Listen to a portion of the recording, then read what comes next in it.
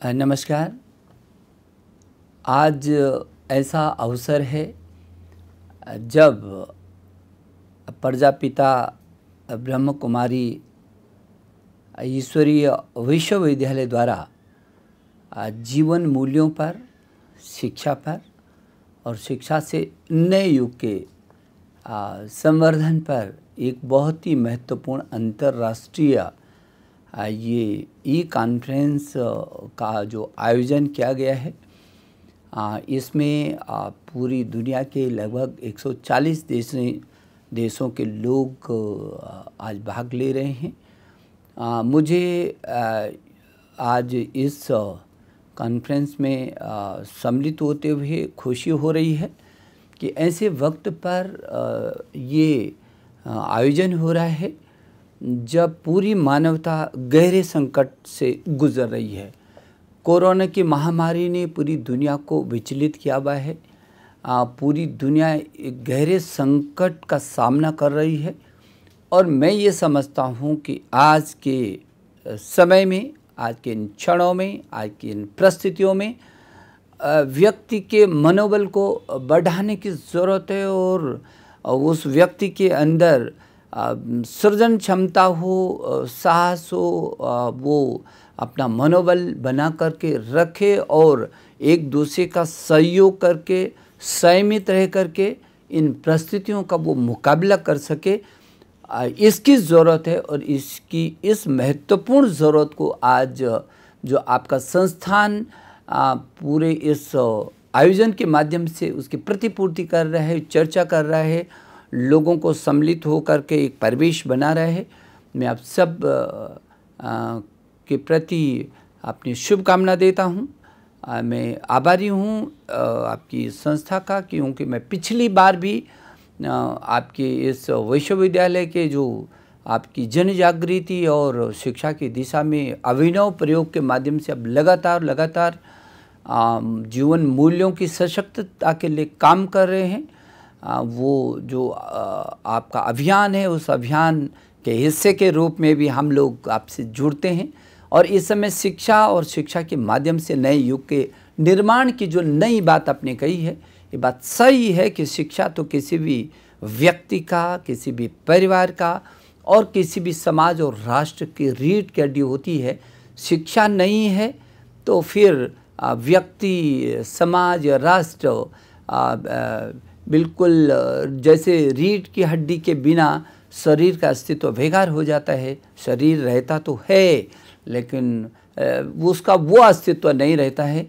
ये जो शिक्षा है, ये जो तन, मन और तन, मन को ठीक करने के साथ साथ उस अपने विचार को, उस अपने संस्कार को, अपनी संस्कृति को आगे बढ़ाना, अपने अंदर की तमाम ऊर्जा को नए स्वरूप में बाहर निकाल करके उसको बांटना।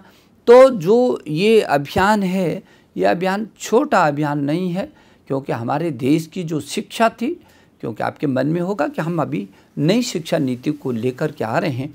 और नई शिक्षा नीति को लाकर, लाने के पीछे भी मंशा ये है कि भारत, ये जो भारत है, वो तक्षशिला और नालंदा जैसे विश्वविद्यालय जिस भारत के अंदर रहे हों, जब सारी दुनिया का मानस शिक्षा ग्रहण करने के लिए इन संस्थानों में आता हो, वो देश जो विश्वगुरु के रूप में रहा हो इत देश प्रसूत सकाशादग्र जन्मना स्वम स्वम चरित्रम शिक्षण पृथ्व्याम सर्व मानवा जहाँ सारी पृथ्वी के लोग आकर के नए सृजन की विधाओं को लेकर के, नए ज्ञान, विज्ञान अनुसंधान की दिशाओं को लेकर के जाते हों।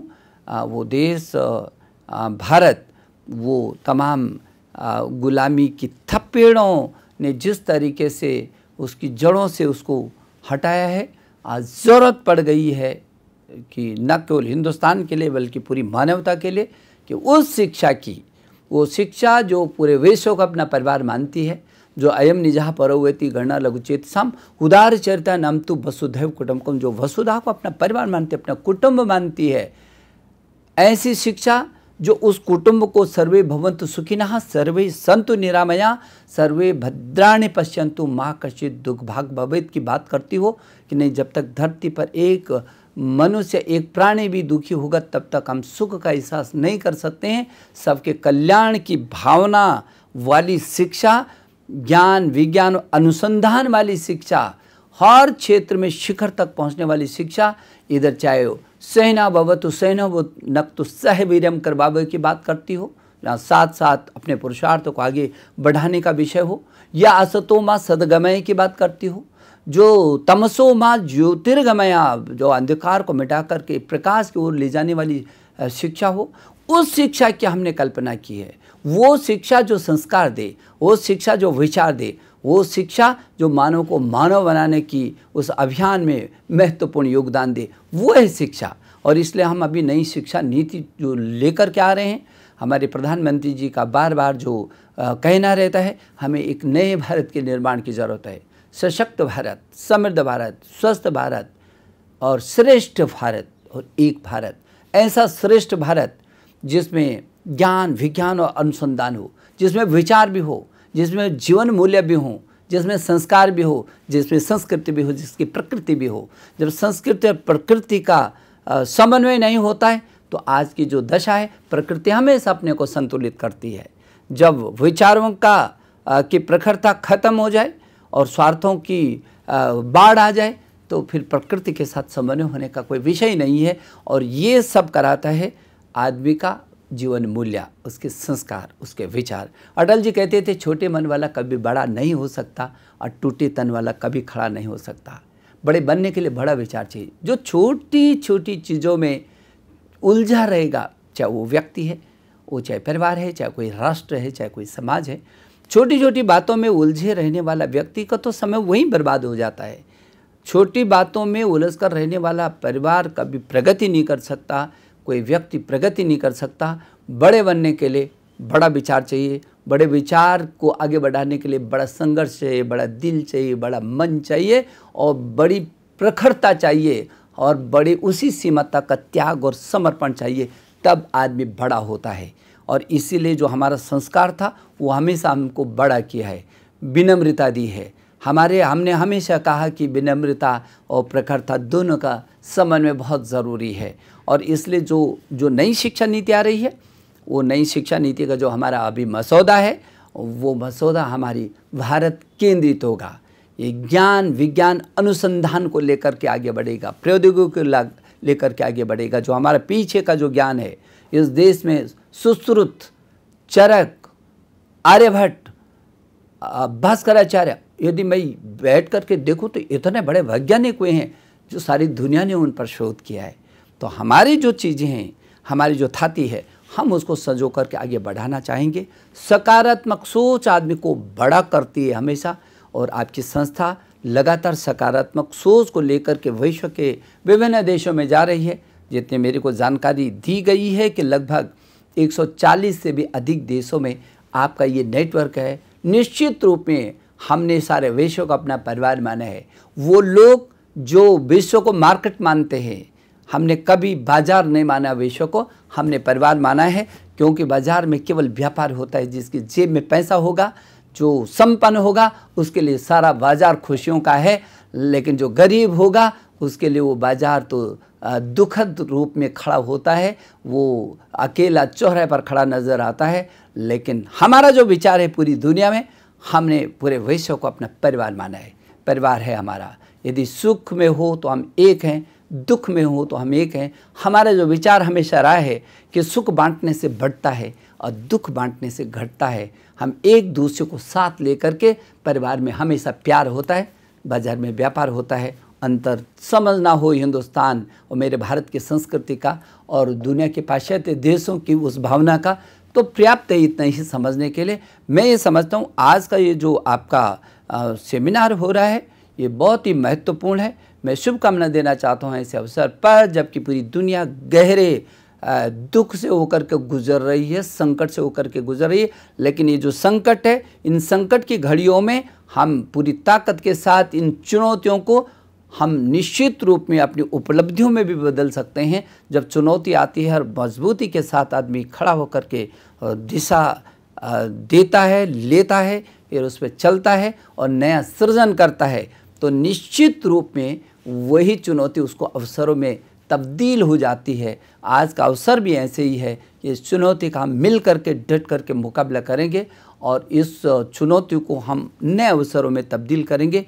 मेरे लिए तो ये ये ये जो अवसर है वे निश्चित रूप में मानव संसाधन विकास मंत्रालय के लिए एक उपलब्धि बन करके, आ रहा है। जब हम ऑनलाइन शिक्षा को बच्चे बच्चे तक पहुँचा रहे हैं, आज हमने स्वयं स्वयं प्रभा दीक्षा ई पाठशाला और एनडीएल के माध्यम से इस देश का तैतीस करोड़ से भी अधिक छात्र छात्राओं को हमने सीधे ऑनलाइन शिक्षा देना सुनिश्चित किया है। मेरा अभिभावक और अध्यापक दोनों मिल करके उसको संजो रहे हैं, उसको आगे बढ़ा रहे हैं। सोचा भी नहीं होगा कभी किसी ने कि ऐसी एकाएक ऐसी परिस्थिति पैदा हो जाएगी। और हिंदुस्तान के जो एक हज़ार से भी अधिक विश्वविद्यालय हैं, पैंतालीस हज़ार से भी अधिक डिग्री कॉलेज हैं, पंद्रह लाख से भी अधिक स्कूल हैं, एक करोड़ से भी अधिक अध्यापक हैं और तैतीस करोड़ से भी अधिक छात्र छात्राएँ हैं जो कुल अमेरिका की जनसंख्या से ज़्यादा हिंदुस्तान पर छात्र छात्राएँ हैं। इतने बड़े परिवार को ऐसे विपरीत परिस्थितियों में भी संभल करके रहना संभाल करके रखना और उस परिवार को सक, सकारात्मक सोच के साथ देश के निर्माण में आगे बढ़ाना ये कम चुनौती भरा समय नहीं है, लेकिन मुझे इस बात की खुशी है कि मेरे आईआईटी मेरे एनआईटी मेरे आईसर मेरे विश्वविद्यालय, मेरे आईएम मेरे स्कूल, नीचे के स्कूल से लेकर के विभिन्न संस्थाएँ नित्य नए प्रयोग कर रहे हैं, नया अनुसंधान कर रहे हैं। हमारे प्रधानमंत्री जी ने कहा था, मैं नवयुवकों को आह्वान करना चाहता हूँ कि वो ऐसे अवसर पर क्या कर सकते हैं और मुझे इस बात को कहते हुए गर्व महसूस होता है कि आज हमारे देश के हज़ारों नौजवानों ने वो घर पर कैद नहीं बैठे, वो शोध की प्रयोगशालाओं में आए और नए नए अभिनव प्रयोग करके नए नए अनुसंधान किए जो इस देश की प्रगति में बहुत आधारशिला बन करके रहेंगे। और जो ये नए भारत, नए युग के निर्माण में हमारी जो नई शिक्षा नीति है, वो निश्चित रूप में एक आधारशिला बन करके आएगी। ऐसा मेरा भरोसा है। मैं आप सभी के प्रति बहुत आभारी हूँ कि आप सब इस उत्सव वाले कार्यक्रम में, इस संस्कार क्षम वाले कार्यक्रम में, इस नए युग निर्माण की परिकल्पना वाले इस सेमिनार में, इस महत्वपूर्ण उत्सव में हम सब लोग आज एकत्रित हुए, मिल, मिले हैं। मैं भगवान से प्रार्थना करता हूँ कि वो इस जो कोरोना की महामारी है, उसको ख़त्म करें और नए सृजन के साथ एक नए युग की ऐसी शुरुआत हो, जिस जिस युग की हम कल्पना करते हैं, जिस सुखद युग की हम कल्पना करते हैं, उस सुखद युग का निश्चित रूप में मिल करके एक, सूत्रपात हम लोग मिल करके करें। मैं आप सभी को एक बार फिर हृदय की गहराइयों से शुभकामना देता हूँ और आपको बधाई भी देता हूँ और आपका आभार भी प्रकट करता हूँ। बहुत बहुत धन्यवाद।